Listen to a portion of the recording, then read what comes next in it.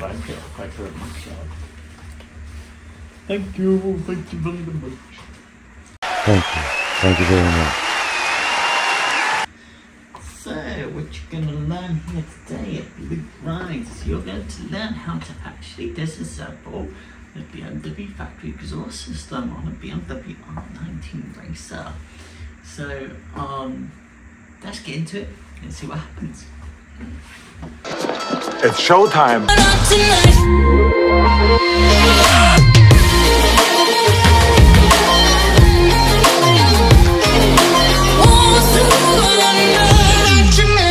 Hello Luke Rides.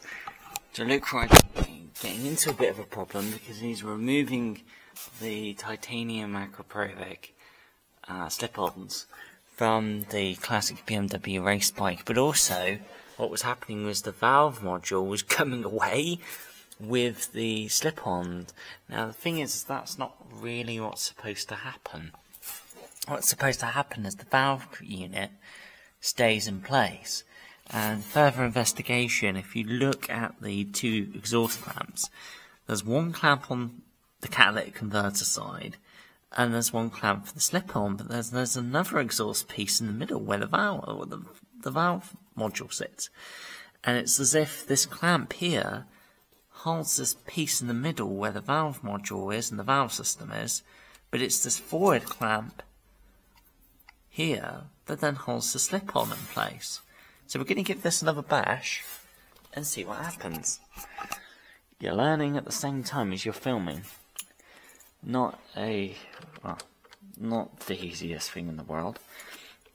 So what you want to do is, again, we're, we're disassembling the exhaust hanger very gently. And it's very pretty as well. It's silver aluminium. What we want to try and do is not let the tool slip and then scratch that lovely bit of, of aluminium there because don't want to damage it. It just doesn't, look nice then, but. No, not easy. And yeah, looks factory, it looks very pretty. Okay, so let's see what happens. The theory is now is what was supposed to happen in the first place. The slip-on has come away. Hey, one twin shotgun, Akrapovič, titanium, we're going to undo the servo. which is this Torx bolt here with a black washer, which we need to um, Has that Torx holding it on and then you push it backwards. backwards. And you can see here that it was on, the rubber mount was on that metal pin there. Ah, yes. So Yes, whole, you can. The whole contraption has to go backwards Has in order to be removed. You can't just remove it because there'll be an electrical connector somewhere. So Which we need to find a torch. that's me wiggling it off.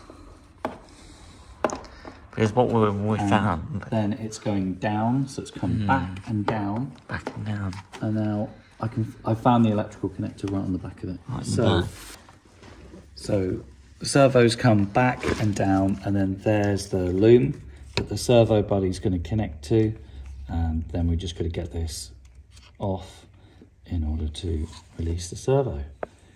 You can't feel with a pick, you know. You can't like it ain't your fingers, is it?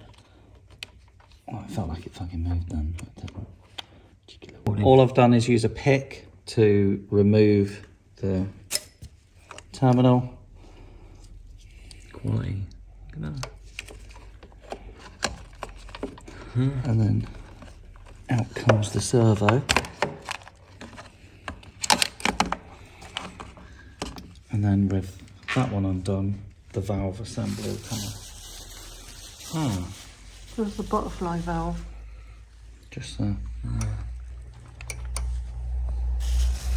So how does the servo body, what the servo body do then? The servo body is going to connect to That this, unit. and then we're going to cable tie it up out the way, probably Right. out the way somewhere, Right. And then it's going to lie to the bike. The onboard computer that it thinks that the valve, the exhaust valve, factory valve, is open or closed. So what you're going to do is you're going to get a torch and you're going to be in this area here of the Norte classic BMW race bike. Race for race. It's that unit right there. That unit right there, there wasn't so much pieces in the in the way. So it sits just underneath the charcoal canister. It sits right there in the frame. This is where we're going to take the little servo buddy and we're going to connect it up. Right in the depths of the frame of the classic BMW race bike, classic superbike. That electrical connector there that's just there, uh, black, long wire coming out of it. That is the controller for the exhaust valve. Your exhaust valve is this honking great big emissions controlling crap here that is holding back this mighty engine. Okay, this is why we're undoing now the second exhaust clamp. Being careful not to hit the frame of this gorgeous BMW classic superbike. We don't want to hit the frame. We just want to undo this piece here. It'd be nice if we can try and get a bit more light in there for you. Rest the torch up against the tyre or the beamer and then Luke Rides and I feel the link pipe is loose. Yeah, it is loose. It, it's actually coming out now. You can actually feel it coming out. Wow. And away comes the exhaust unit. Holy mother wow. I'm sure I can get a sweep from here.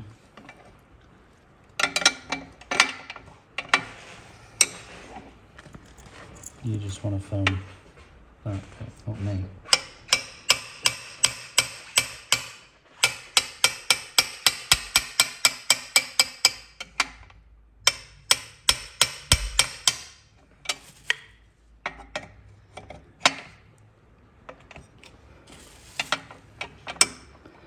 Need to get away, come away with you. Now.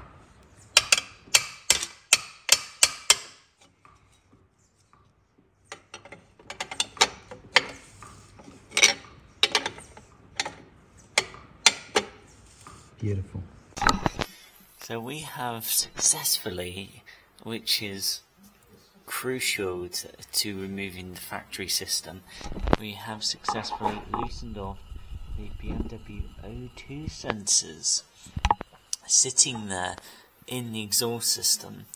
We used a large 22 inch spanner and effectively what you want to do is take the spanner make sure you've got the bestest fit possible over the nut and then using a hammer hit the roundy end of the spanner and keep doing that until that nut releases and then away you go. And this O2 sensor is now fully released. Well is is loose. But now we're in the process of actually releasing it from its holder. BMW quality.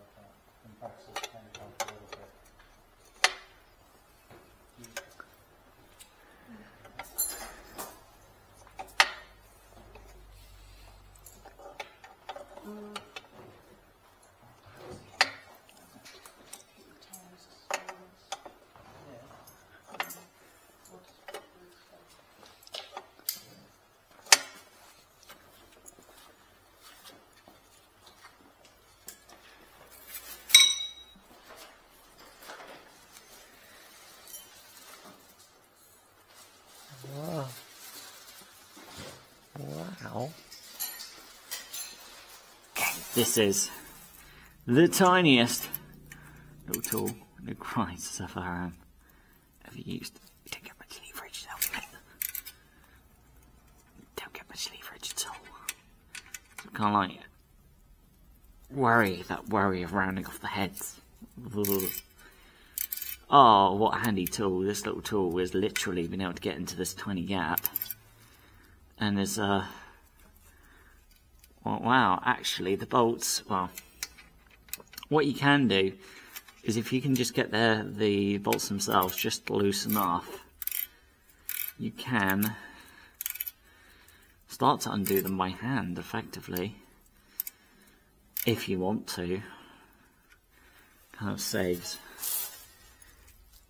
saves time. Because you know by this point after you're starting to use tools you kind of get a good idea of what's um, clockwise. Clockwise is undo in uh, in garagey garagey speak undo and what's tighten okay so that's that's the bolts for the exhaust hangers now starting to come away. Um, and great stuff. We have a jack in position so just a matter of now. You see how the clamp is is now just starting to you can actually just see it with see with the human eyes. Actually just see it now. Just see it. Starting to starting to undo. You can actually see the clamp now actually giving way to the oh this one's a bit of a fucker. It's usually quite language but when you work when you're working on well, anything mechanical you're going to feel like swearing. It's just hard work. It really is hard work. None of it none of it's easy. Okay. Well we are starting to un oh no. Does it put it fucking put it into tighten up. We don't want to tighten up. We want to undo you bugger. No. Oh my god Luke Rides is getting himself all confused man. Get yourself confused. What undo? We don't want. Ah, oh, fuck. Luke Rides to see what he's doing wrong.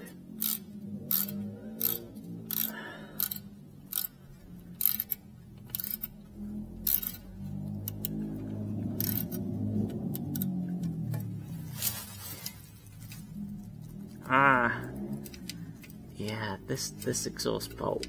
The one furthest away from Luke Rides is um, yeah, it's not playing. Uh, it's not being very nice. It's actually putting up with a little bit of a fight to undo by hand, really. There is some sort of oh, on focus iPhone. It's supposed to be an intelligent phone. Stop being a dick. Is there some sort of silver paste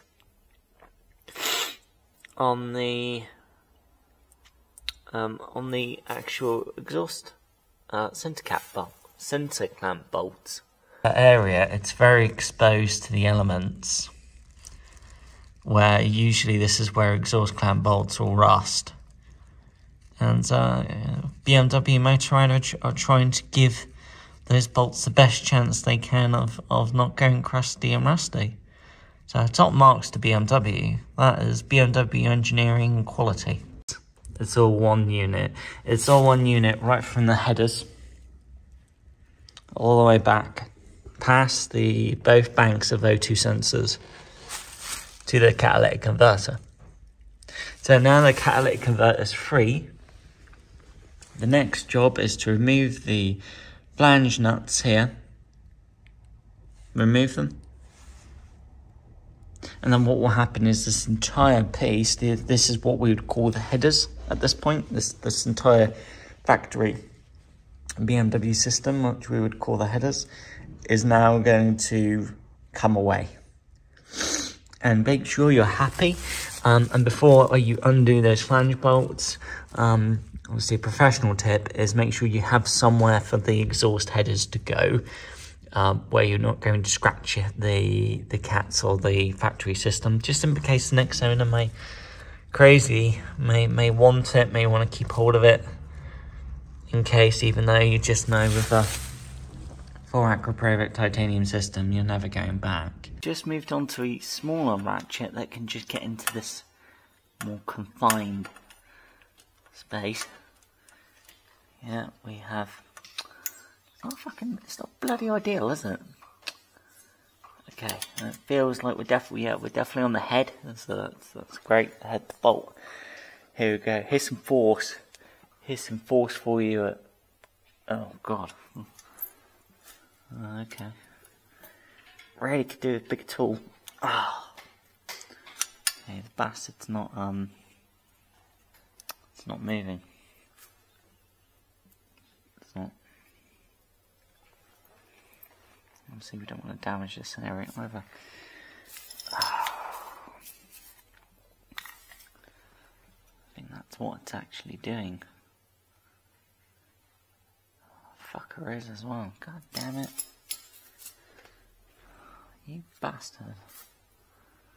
Actually trying to de-shape this. Whoa! Fin here. Why is nothing ever straightforward? And I was thinking you didn't want to cause any damage to your, your baby.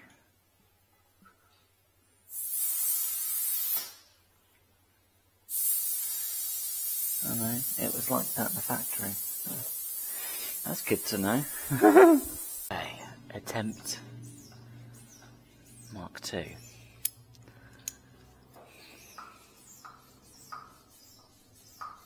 Ah, attempt Mark 2 successful. Okay, we have movement on this head bolt as well. Now we just need to take the appropriate tools and we need to go to the to the other, to the second cylinder. Ratchet actually sits on the extension and is on an adjustable joint just to help us get into the uh, this bolt here. The second bolt that's just between the head and the actual exhaust piece that's just very tricky to get a ratchet and the socket in there. It's not BMW's fault, that's just how they, they design these cylinders like that for a reason. Make sure we're set to undo. And that came off, that came off nicely as well. So that's looking actually pretty good. Okay, at this point you're going to want a um, you're going to want the 12 millimeter deep uh, deep socket. Let's just undo it, break the, the headers away, and then just take it from there really. So what you need to now do is you need to look at the um, you need to look at the front exhaust system, the headers, where the pipes now go into the cylinders, and you have one um, flange nut here and a second one at the bottom. And now what you're going to do is you're just going to take your time and you're going to undo um, the flange nuts. And they really are just, actually nuts on a thread, which is quite, quite interesting. Uh, they are greasy. Uh, titanium. Ooh, this is very important. Titanium, under no circumstances, which we're going to repeat later on as well on this episode, do not get your fingerprints on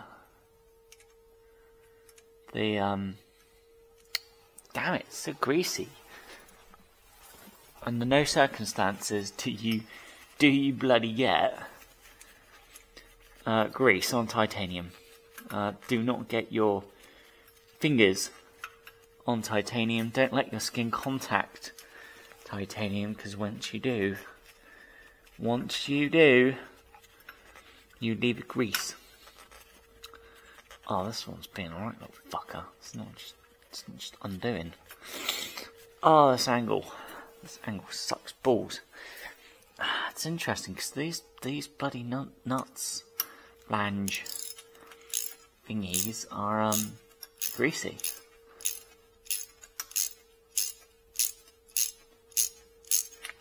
Okay. Alrighty. Well, the flange nuts come away. Okay, and then move on to the other side. Cool. Uh, same procedure. Bring your tools with you. And then same procedure for the second cylinder. Here we are removing the uh, factory system.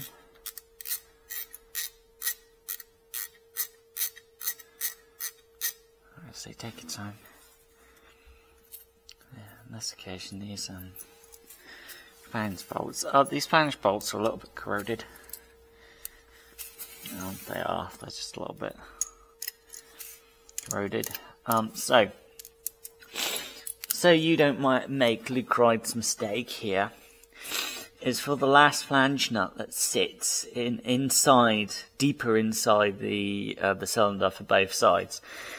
Is if you get a, a tool like this in there, and then you put force down in order to start undoing the, the nut, what you'll do is the, the force of your tool will then put pressure on this edge here of the cylinder, and you could actually mark the the cylinders. You could actually mark the black factory paint and mark it.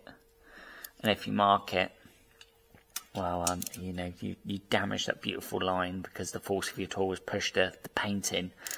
Um, yeah, you're not you're not repairing that. You're not going to fix it. So, what you can do if you love your motorcycle, uh, love your your R NineT racer, is what you can do to help yourself is take a smaller tool like this with an adjuster.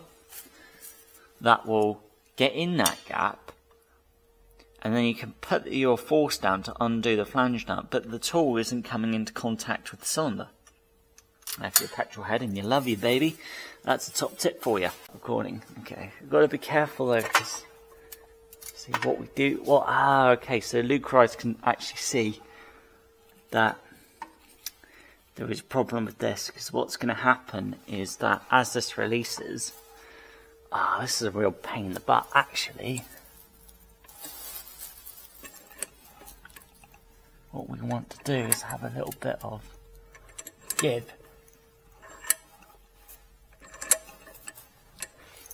between. Okay, this is where we've got to be uh, very careful now at this point because what we don't want to do is we don't want to damage little things like. Ah, actually.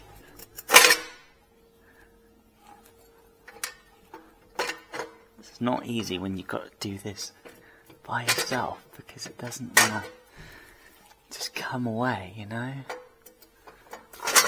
Ah, I mean, this one's happily happy to come away, but.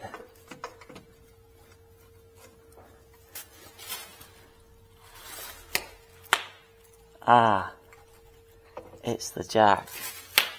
The jack is in the way. It's stopping the. The jack is actually in the way. It's actually in the way, to be honest. Are we completely free? We are. Okay, we are completely free. That's this exhaust clamp.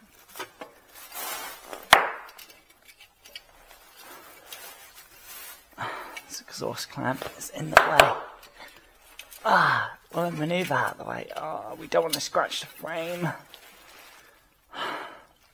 Yeah, that's the problem. What we don't want to do is we don't want to scratch the beautiful BMW frame. Obviously here, we don't want to damage it or mark it. Obviously, BMW had the reason, but if we could just... Oh, all the money. Let's bring the...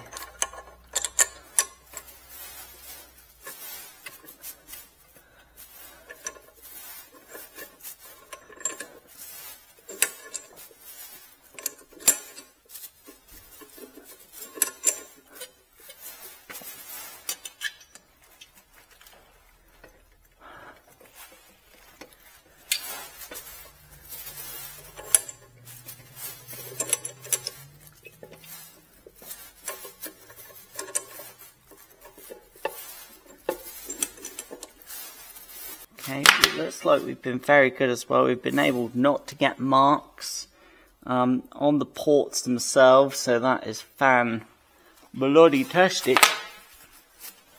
Now, oh, God, Luke Rides is making all sorts of noises now, isn't he? Now we need to somehow bring this massive BMW system. Ah. It. Again, we don't. Again, we don't want to mark the um. So we don't want to mark the cylinders. Do you know what Rice means? We don't mark the cylinders, damage the the engine casing, or mark it in any way. We need. We want this just to just to release. Um, some other things we actually might be able to do is if we pull the jack out of the way. Oh god, and just let let the exhaust system rest. Uh, okay. Check for any potential damage on the um, paintwork side of things on this edge here. But looks good. We have cleared a massive great big ports.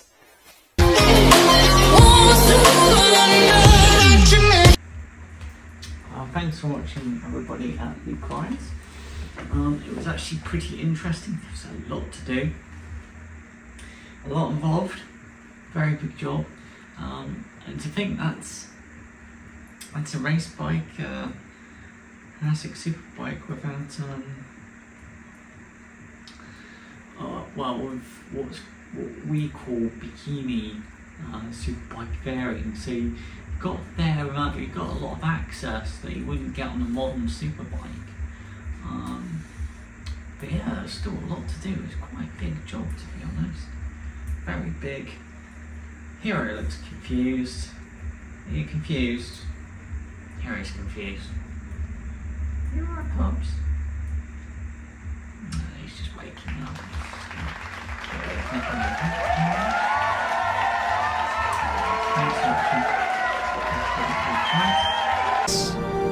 The way we The little rascal has spirit. As what, sir? This is the end of the trail for me. Thank you. Yeah. Thank you, kid.